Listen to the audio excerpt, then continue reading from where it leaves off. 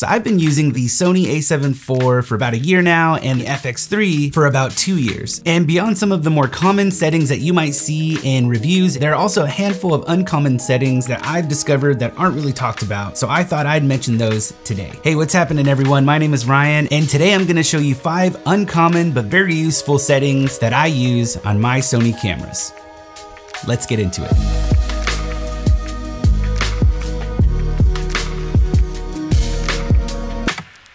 Now, some of these settings you may have heard of before, and there might be some that you haven't heard of yet, but either way, I thought I would compile all of these settings into one video, and I also made sure to choose settings that are not only uncommon, but also very useful, at least in my opinion. So we're gonna dive right in, but just a couple of things. Number one, we're not sponsored by Sony at all, and number two, Thanks for being here. Okay, so let's dive in. So number one, we have Gamma Display Assist. Now this is definitely one that's been around for a while. However, I actually personally didn't hear about this until not that long ago. So I thought I would add it to the list here. This will allow you to have a bit of a color grade on your footage while still using a log profile. Here I'm using S-Log3. Now I would normally do this through an external monitor where I would import my own LUTs to be able to see what the footage could look like in post while still filming in a log profile, preserving of the highlights and shadows and things that I want in the image. But you can also do this within your camera. All you have to do is first go to the menu, then go to the yellow briefcase at the bottom and go to display option. I first like to stop at Gamma Assist display type. And I stop here first because here you'll have a chance to decide whether you want S-Log2, S-Log3, and two HLG options as well. For the sake of this video, I'm just gonna choose S-Log3. Then you just head back up to Gamma Display Assist, turn it on, and you're good to go. Now for me personally, I like to switch between more of a color graded look and my log footage whenever I'm shooting, and I like to have the ability to switch back and forth quickly, so I've saved this to a function button here. What's number two?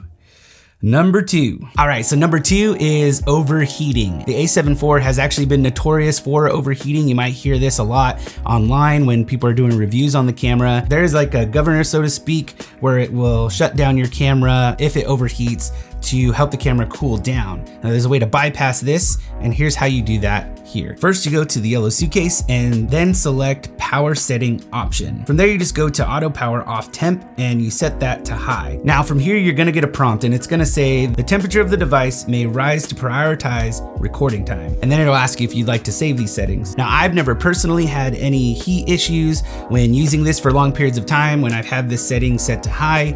I actually just tested this out recently where I have the camera just pointing at me doing all the research for this video and it was on it for a very long time almost to the point where it took the entire card and it felt hot, but not too hot and it didn't damage the camera at all. Also in my research, I did find that a lot of the YouTubers that were reviewing this, a lot of people online would say that they would turn this on and didn't have any heat issues, but I would maybe suggest just give this a test run and see how it works out for you. After this, you just click okay and you're good to go. Hey, Future Ryan here at a hotel. My wife and kids and I are out celebrating Mother's Day weekend. But anyway, I was watching the playback and I realized I forgot to mention a couple of things. What I'm talking about is very A7 IV specific. However, you could change these settings on a lot of the different Sony cameras like the FX3, um, the A6500 I think does this as well. But I personally tested this on the A7 IV, which is what I'm using right now. Also, another thing I wanted to mention is what kind of situation would you use this feature for. For me personally, this is when I would be using my a7 IV as a B camera or a C camera in an interview. Interviews usually take a lot longer than 15 to 20 minutes, which is when you would get the prompt to shut down your a7 IV or your Sony camera so that it can cool down. So I would just set this to high and get a much longer lifespan out of it for those interviews. I would also use this if I was doing a product shoot and it was taking hours and I was using this camera specifically, or I'm shooting behind the scenes scenes footage and I just need my Sony camera to stay on longer, then I would set this to high. Again, I only tested this on my a7 IV. I haven't tested it on any of the other Sony cameras, not even my FX3 because it has a fan in it, so it stays cool. But I just thought I would add this little bit in there just in case you were using a different Sony camera and you tried this out. So just go ahead and test it out for yourself. Maybe do a little bit more research and see how it works for you. All right, number three, a brighter LCD screen. Now, you've probably heard me say many times if you've been following the channel for some time that it is super frustrating to just go out and film on this LCD screen outside with full sun. It's just,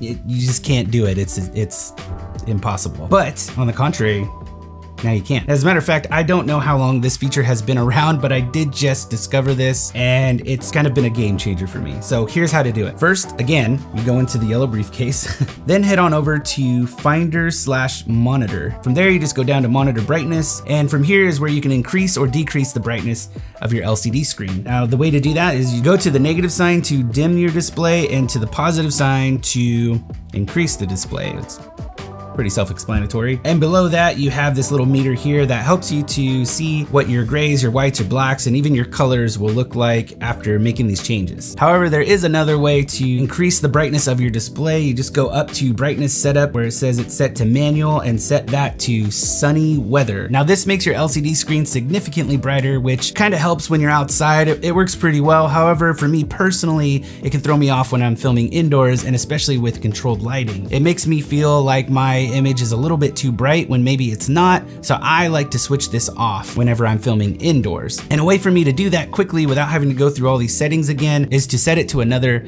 function button. Now this next one is a little bit extensive, but I'll try to get through it quickly, and that is save settings. Now first, before you do this, make sure that you have an SD card that you're not currently using, and make sure that it's formatted and fresh so that you can add your settings to that You'll see why in a second. Okay, so the first thing is you want to go to your menu and head down to the yellow briefcase, then select reset slash save settings. After that, select save slash load settings, and there's where you would save your settings over to your SD card. Give it a name that you'll remember, and click save. One more thing I would recommend is to label your SD card if you're looking to save this particular setting and have a physical copy of it. However, there is another way that you could do this and that is to plug in your SD card to your computer and save it onto your hard drive or desktop. Now this is gonna make it a lot easier if you wanted to reload those settings onto your camera. And moving on to number five, and that is my menu. Now this is one that I think that is more common. However, I thought I would add it to this list because there are quite a few people that don't know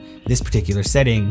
At least I didn't for a long time. This function will allow you to save all the settings that you probably use most often or even some of the ones that you don't use often and you can't remember where they are in the menu. This is gonna allow you to create your own customized menu for quick and easy access. So here's how to do it. First, you go to the star icon, different this time. Then you go to my menu setting, then go to add item.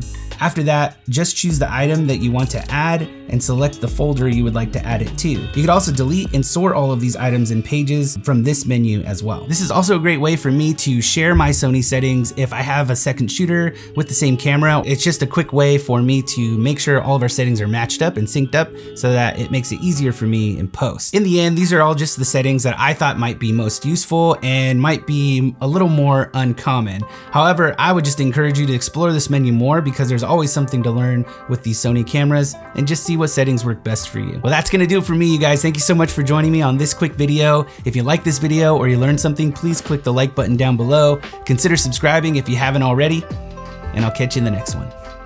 Laters.